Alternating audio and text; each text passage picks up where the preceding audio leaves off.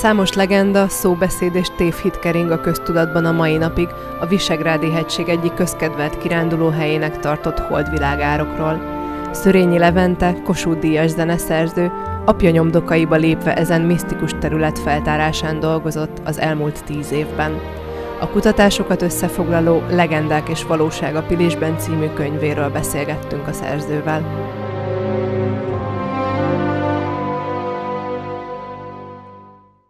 Mindenki által zeneszerzőként és zenészként ismert Szörényi Leventét kérdezem, hogy honnan a régészet iránti érdeklődése és a holdvilágárok iránti szeretete. Hát ez régi időkre, gyerekkorra mutat vissza.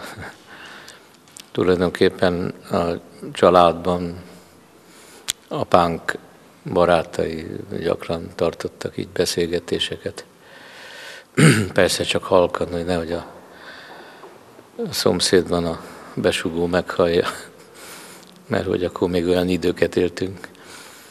Szóval gyakorta majdnem minden nyáron egyszer, minimum egyszer ki rándultunk a pomász fölötti oldvilágárokba, apámmal is, az ő barátaival, és a, ehhez a baráti körhöz tartozott a pomázon élő, akkor még élő Sasai Sándor, akinek a nevéhez fűződik a, a környék és a Pilis régészeti kutatása, és jelesül a holdvilágároki vízesés fölötti sziklafal 41 őszén történt részbeni kibontása, ez egy nagyon fontos lépés volt akkor, bár az akkori és a későbbi hivatalosságok nem igazán nézték jó szemmel a Sarshegyinek a működését. Részben azért, mert féltékenyek voltak rá, mert nagyon alapos ember volt egyébként, hivatásos régészeket meghazudtoló munkát végzett, minden tekintetben. Tehát a, a kutatás, a ásatás. Tehát ő nem volt hivatásos. Tehát gyakorlatilag azért e, e, kicsit talán ezért orrultak rá, hogy hogy talán nem kéne ezt neki csinálni, de mindig körbevette magát, mint hogy én is tulajdonképpen, mint egy ilyen reinkarnációja talán a Sorsegyinek. Én sem egyedül garázdálkodok ottan tíz éve, hanem a Szentendrei Múzeum eh, régészével, Repiszki Tamással eh, válvetve. De mint minden ügyhöz kell, kell egy elszántság, egy elhivatottság, egy megszállottság. Sassegyi is megszállott volt. Nekem az, hogy tíz évvel ezelőtt e, tulajdonképpen elkezdtük a, folytatni az ő akkor 41-ben ott hagyott munkáját, és azóta is rendületlenül folyik a kutatás ott a sziklafal előtt. Ez nem mindennapi elszántság kell, és a Sashegyi is ilyen ember volt. Nekem még van egy külön szerencsém, hogy az összes vágyamat, a siker utáni vágyamat kiéltem, és kiélem a saját hivatásomban. Tehát engem nem lehet azzal vádolni, hogy szenzációies vagyok, nem is vagyok az, sőt, mm, ez a, ez a jó a dologban. Főleg akkor, amikor rákérdeznek, hogy akkor tulajdonképpen mit keresünk. Árpád sírját, Attila sírját, én mindig azt szoktam mondani, hogy összefüggéseket.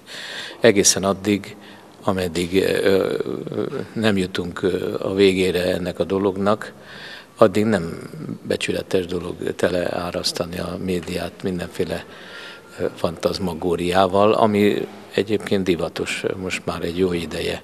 Mindenki osztja az észt. Említette, hogy hosszú évek kutató munkája előzte meg a könyvének a megjelenését. Ez azt jelenti, hogy effektíve a régészeti terepmunkában is részt vett, vagy kifejezetten levéltári iratok kutatásával zajlott? Nem, ez egy nagyon fontos dolog, hogy ez nem az én könyvem, hanem az előbb említett régész barátom Repiszki Tamással közösen szerkesztett könyv, Sasegyi Sándor életműve tulajdonképpen, tehát a Sasé Sándor munkássága, leletanyagai, ami a múzeumban van, írásai, észrevételei, és a többi, és a többi, ezek teszik ki ennek a körülbelül 450, 450 oldalas könyvnek a mondjuk 80-90 százalékát, és az utolsó fejezet, amit mi perújra felvételnek neveztünk el, azt tartalmazza csak ilyen, ilyen vázlatszerűen, hogy mi, mi tíz év alatt mit végeztünk, de csak azért vázlatszerűen, hogy egyrészt az olvasónak kiderüljön, hogy a sassegyi munkásságát mi, mi hogyan és miként folytattuk, de nyilvánvaló, hogy tervezünk egy kiadványt majd akkor, amikor már eljutottunk mi is a, a várható meglepetéshez. Addig nincs értelme, addig persze lehet egy-két tudósítást adni éppen a jelenlegi állásról, de igazán összefoglalni csak akkor lehet, hogyha ha értelme van, tehát hogyha annak a kutatásnak, amit most már tíz évet csinálunk, egy csattanós válasz kapunk erre a kutatásra. A könyvnek a hátoldalán egyébként van egy ilyen mottószerű, amit mi szerkesztettünk oda, csak a mihez tartás véget, hogy ajánljuk mindazoknak, akik még úgy érzik, hogy keveset tudnak, és azoknak is, akiknek meggyőződése, hogy mindent tudnak. És ebből az utóbbiból van a, sajnos elég sok, és elég sok bajt okoznak a társadalomban. Mi az, amit az érdeklődőknek el szabad árulni a titkok közül, nem leleplezve a könyvet?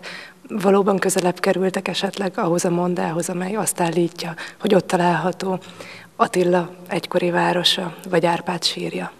Hát itt város nem nagyon lehetséges, mert ez egy a holdvilágárok, szurdok vízesése fölötti egykori római kőbánya falai meredeznek föl az ég felé, és mi tulajdonképpen egy, annyit, annyit lehet tulajdonképpen elmondani, nem azért, mert titok, hanem azért, mert ennyit lehet tudni. Ahogy mondjuk ki, lefelé érkezünk, megyünk lefelé, tehát ahogy megyünk lefelé, az nyilván egyre régebbi korok felé mutat. Na most ebbe a gigantikus kő visszapakolásban, tehát amivel ezt az egykori római kőbányát valamilyen, valamilyen okból eltüntették, na ez az a nagy kérdőjel, ami húz be minket ebbe az egész kérdésbe, és nem enged el. Tehát, hogy miért kellett 1000-1500 évvel ezelőtt egy valaha használt római kőfejtőt visszatemetni gigantikus munkával, és a kövek között meg, megtaláljuk ugye a római oltárkövet, állatáldozati csontokat találunk, és minden olyan dolgot megtalálunk, amire a Sasegyi már 41 után fölhívta a figyelmet, hogy a rómaiak után, ugye, aki tájékozott, azt tudja történelmileg, hogy a hunok jöttek, és birtokba vették ugye a Pannóniát, ennek a nyomai itt is megvannak, a huncserepek, csak igazán az az érdekes, hogy a mai napig is olyan tárgyakat találunk jelesülkő megmunkáló szerszámokat, amik el volt, tulajdonképpen el voltak rakva egy ilyen repedésbe, vagy, vagy ott maradt a padlón. Hát ezek azok a bizonyos összefüggések, aminek nyomán az embernek higgadtan kell gondolkodni. Vajon, vajon miért maradtak ott ezek a szerszámok? Másnap már nem mentek oda? Igen, úgy néz ki, hogy már nem tudtak visszamenni. Ha pedig így van, akkor valami konfliktus helyzet lehetett, és az a konfliktus helyzet nyilván nem más, mint amikor a hunok megszállták Pannoniát. Tehát eh, körülbelül így lehet gondolkozni. Ennél sokkal, az, hogy állatáldozati csontok vannak, ez azt mutatja, hogy valami szakrális tevékenység folyt ebben a kőbányában, és ebbékből aztán át is faragták, ennek is vannak nyomai, de hogy aztán végül is mit, mit csináltak ott, és miért kellett az egészet eltüntetni, még egyszer mondom, valami heroikus, mert mi tíz éve bontjuk ki a köveket onnan. És az nem tíz évig tartott annak a visszatöltése a rabszolgákkal, gondolom, hanem néhány hétig. Na, ezt szeretnénk megtudni, ez a legfontosabb kérdés, hogy miért kellett e, visszatölteni szinte hermetikusan ezt a, ezt a kivált hegyet.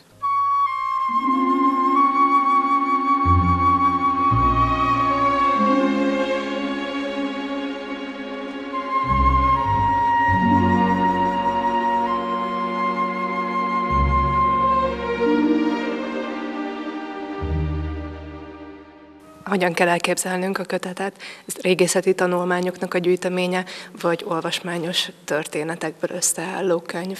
Hát eh, miután említettem, hogy ez a könyv a sarsegyi munkásságát foglalja össze 80-90 százalékban, a, a Sarsegyi Sándortól nem várjuk el azt, hogy vicceket meséljen és szórakoztassa az olvasót, de mi szerkesztők ö, igyekeztünk úgy összeállítani ezt a könyvet, hogy hogy szakmailag is egy, egyfelől megfeleljen, másrészt, hogy ha egy laikus csak érdeklődő kezébe veszi, az se tolja el magától, hogy húha, ez, mert ez nem egy regény. Tehát úgy igyekeztünk fejezetekre bontani, hogy az a, az egyébként érdeklődő embert be, behúzza a könyvbe. Ezért aztán a fejezetek gyönyörű dupla színes kép oldallal indulnak, rengeteg fotó van a leletekről, a római és későbbi egyéb régebbi vaskor és egyéb leletekről, mert ez mind a Pilisből jött elő, csodálatos leletek vannak. És ezek mind nagyon szép nyomdai technikával belekerültek a könyvbe. Tehát nyilván, hogy elsősorban az ember, aki, akit érdekel, hogy mégis mi van a Pilis, Pilisben, vagy mi volt, vagy mit talált a Sasegyi, először a képeket fogja végignézni. És miután mondtam, hogy ez nem egy regény, amit előre kell kezdeni, bárhol föl lehet ütni, erről fog ez szólni ez a könyvbemutató, például a pálosok története. Holdvilágárok, amiről beszéltem az előbb, a vaskóházat, és a többi, és a többi. Úgyhogy nagyon izgalmas az egész könyv. És az egy bátrabban beszél a könyvben olyan dolgokról, amiről mi nem.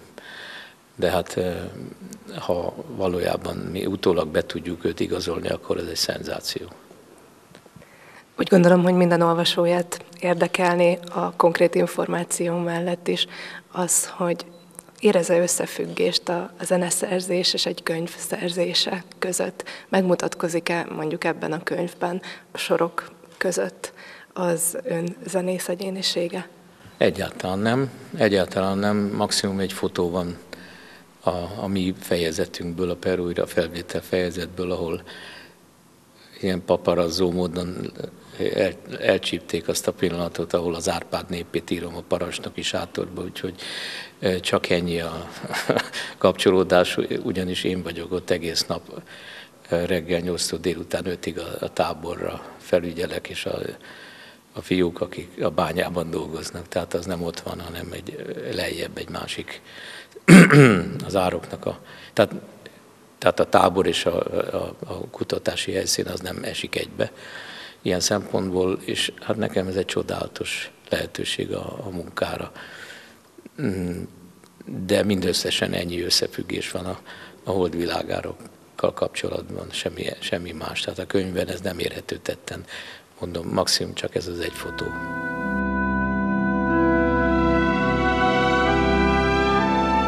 A kutatás a legendák nyomában tovább folyik, és egykor talán napvilágra kerül a misztikus holdvilág árok minden titka.